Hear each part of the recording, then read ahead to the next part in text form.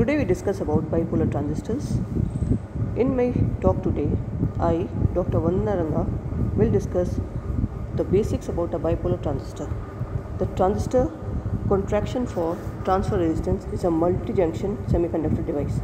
Normally, the transistor is an integrated with circuit elements for voltage gain, current gain, signal power gain, etc. The bipolar transistor, also called the bipolar junction transistor BJT, is one of the most important semiconductor devices. It has been used extensively in high speed circuits, analog circuits, and power applications. Bipolar devices are semiconductor devices in which both electrons and holes participate in the conduction process. This is in contrast to the field effect devices, which predominantly only one kind of carrier participates. The bipolar transistor was invented by a research team at Bell Laboratories in 1947. The device had two metal wires and sharp points making contact with germanium substrate. The first transistor was primitive by today's standard, yet it revolutionized the electronics industries and changed our way of life. The modern junction, um, that is the bipolar transistors, we have replaced the germanium with silicon and we have replaced the point contacts with two closely coupled PN junctions in the form of PNP or NPN structures. We consider the transfer action of the coupled junctions and derive the static characteristic from the minority carrier distributions in the regions. We also discuss the frequency response and switching behavior of the transistor. In addition, we briefly consider the heterojunction bipolar junction transistor in which one or both the PN junctions are formed between dissimilar semiconductors. In the final section, a related device that is called a thyristor is introduced. The basic thyristor has three closely coupled PN junctions in the form of PN-PN structure. The device exhibits bistable characteristics and can be switched between high impedance off state and low impedance on state. The name thyristor is derived from the gas thyratron, which is a gas-filled tube with similar bistable characteristics. Because of the two stable state on and off and the low power dissipation in these states, the thyristors are used useful in many applications. We consider the physical operation of the thyristor and a few related switching devices. Furthermore, the various thyristor types and their applications are briefly introduced. Specifically, we cover the following areas that is the current gain and modes of operation of bipolar transistors, the cutoff frequency and switching time of bipolar transistor, the advantages of heterojunction bipolar transistor, the power handling capability of thyristor and uh, related bipolar transistor. Now we discuss the transistor action. A perspective view of a discrete PNP bipolar transistor is shown over here in this diagram.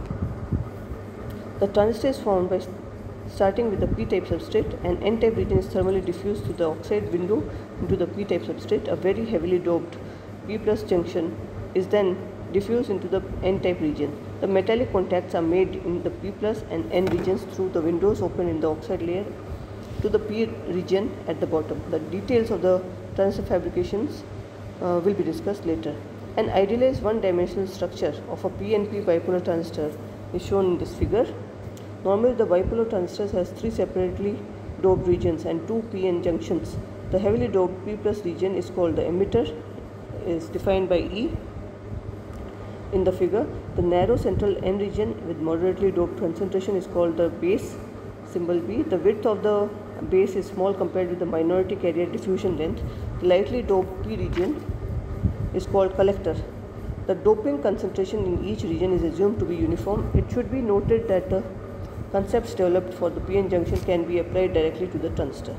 The figure illustrates the circuit symbol for the PNP transistor. The current components and voltage polarities are shown in the figure over here. The arrow of the various currents indicate the direction of the current flow under normal operating conditions. We also call the active mode. The plus and minus signs are used to define the voltage polarities. We can also denote the voltage polarity by a double subscript on the voltage symbol. In the active mode, the emitter base junction is forward bias, VEB is greater than 0 and the base collector junction is reverse bias, VCB is greater than 0. According to Kirchhoff's current circuit laws, there are only two independent current for these three terminal devices.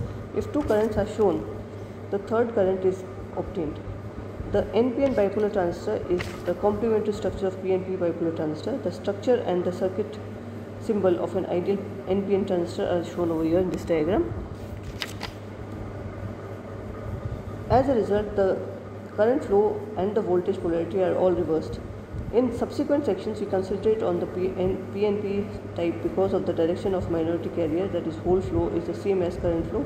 It provides more intuitive base for understanding the mechanism of charge transport. Once you understand the PNP transistor, to reverse the polarities and conduction types to describe the NPN transistor. Operation in the active mode. In this figure over here, we show an idealized PNP transistor in thermal equilibrium that is where all the three leads are connected together or are grounded. The depletion region near the two junctions are illustrated by the colored regions. The figure below shows the impurity densities in th the three dope regions where emitter is more heavily doped than the collector. However, the base doping is less than the emitter doping but greater than the collector doping. The figure shows corresponding electric field profiles over here, electric field profiles of the two depletion regions.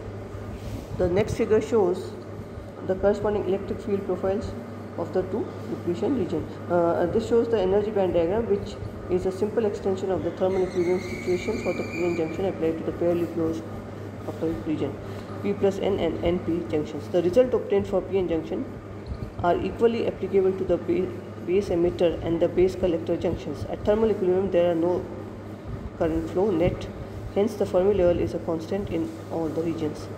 The figure shows over here this figure shows the corresponding case when the transistor is biased with active mode. The previous diagram was unbiased, now this is a biased diagram. This shows a schematic of the transistor connected to an amplifier with a common base configuration that is the base lead in common to the input and output circuits. The figure 4b and 4c show the charge densities and the electric fields respectively under biasing conditions. We note that the depletion layer width of the emitter base junction is narrow and the collector base junction is wider compared with the equilibrium case. The figure shows the corresponding energy band diagram under the active mode. Since the emitter base junction is forward biased, holes are injected or emitted from the P plus emitter to the base and electrons are injected from the N base into the emitter. Under the ideal diode condition, there are no generation recombination current in the depletion region. These two current components constitute the total emitter current. The collector base junction is reverse biased and a small reverse saturation current will flow across the junction. However, if the base is sufficiently narrow, the holes injected from the emitter can diffuse to the base to reach the base collector depletion region and then float up to the collector called the bubble analogy. This transport mechanism gives rise to terminology of emitter which emits or injects carriers and of uh, the collector which collects the carriers injected from the nearby junction.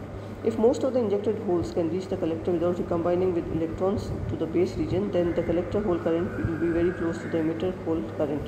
Therefore, carriers injected from nearby emitter junction can result in large current flow in the reverse bias collector junction.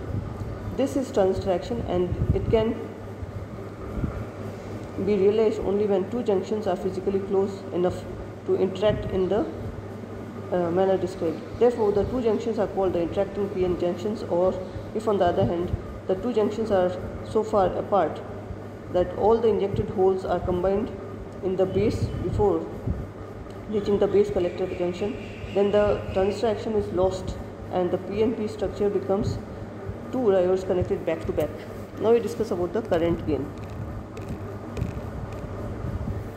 Figure shows the various current components of an ideal PNP transistor biased in the active mode. We note that the assume that we assume that there are no generation recombination currents in the depletion region. The holes injected from the emitter constitute the current IEP, which is the largest current component in a well-designed transistor. Most of the injected holes will reach the current junction and give rise to the current ICP. There are three base current components the IBB, IEN and ICN. IBB corresponds to the electrons that must be supplied by the base to the, replace the electrons recombined with the injected holes. That is IBB is equal to IEP minus ICP. IEN corresponds to the current arising from the electrons being injected from the base to the emitter. However, IEN is not desirable as we have shown. It can be minimized by using heavier emitter doping or a heterojunction. ICN corresponds to the thermally generated electrons that are near the base collector junction uh, and drift from the collector to the base. As we have indicated in that figure, the direction of the electron current is opposite to the direction of the electron flow. We can now express the terminal currents in terms of the various components described below. IE equal to IEP plus IEN, IC is equal to ICP plus ICN, IB is equal to IE minus IC, IEN is plus IEP minus ICP minus ICN. So these are the values. And uh, and parameter which is characterization of bipolar transistors is called the common base current gain. Alpha 0 this quantity is defined by alpha 0 is equal to ICP by IE so here we have the various components. If we substitute then we have alpha 0 is equal to ICP divided by IEP plus IEN this gives us in brackets IEP divided by IEP plus IEN bracket closed into ICP by IEP. The first term in the right hand side is called emitter efficiency which is a measure of the injected hole current compared to the total emitter current. Gamma is equal to IEP divided by IE. This is equal to IEP by IEP plus IEN. The second term is called the base transport factor alpha T which is the ratio of the hole current reaching the collector to the hole current injected from the emitter. Alpha T is called ICP divided by IEP and this gives us alpha 0 is equal to gamma alpha T. For a well designated transistor because IEN is small compared with IEP and ICP is close to IEP both gamma and alpha T approach unity therefore alpha 0 is close to 1. We can express the collector current in terms of alpha 0. The collector current can be described as IC is equal to IC plus ICN this is equal to alpha T IEP plus ICN.